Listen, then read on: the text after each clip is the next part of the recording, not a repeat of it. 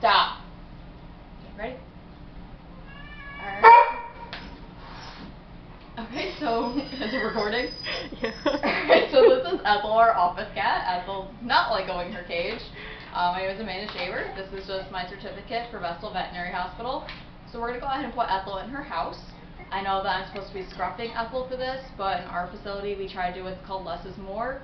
So unless the cat is being particularly fractious and very difficult to handle, we don't like to scruff them because we don't want to cause them any undue stress. So I'm just going to hold up like this, and we're just going to put her in her cage that she's very unhappy about.